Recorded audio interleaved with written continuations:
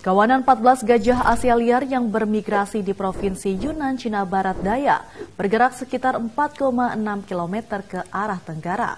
Pergerakan itu terjadi mulai Minggu 27 Juni hingga Senin 28 Juni. Dari kawasan tersebut masih berada di kawasan hutan di Tadian yang terletak di kota Yux.